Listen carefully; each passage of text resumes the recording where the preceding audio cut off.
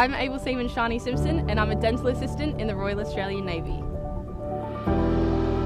As it's my first overseas deployment, it feels pretty amazing representing my country here in Hawaii on RIMPAC 2022. It's been amazing to deploy outside of my normal role as a dental assistant and as a battle watch keeper, I've been able to see what it's like to be a part of a multinational exercise.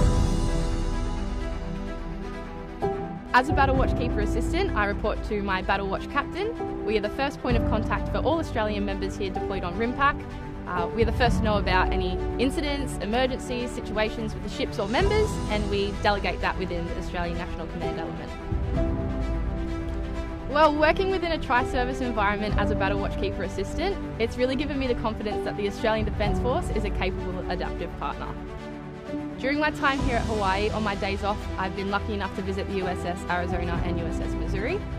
Uh, it's been an absolute eye-opener and an honour to go see those memorials in person, as I never thought I'd be able to experience something like that before. So it's been pretty challenging being away from my family and my partner, but it's totally worth it. I've met so many amazing people and they're going to be friends for life, so they're like a second family to me here.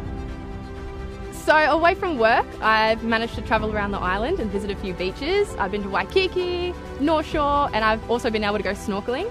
So, if given the opportunity to come on RIMPAC, I'd say go for it.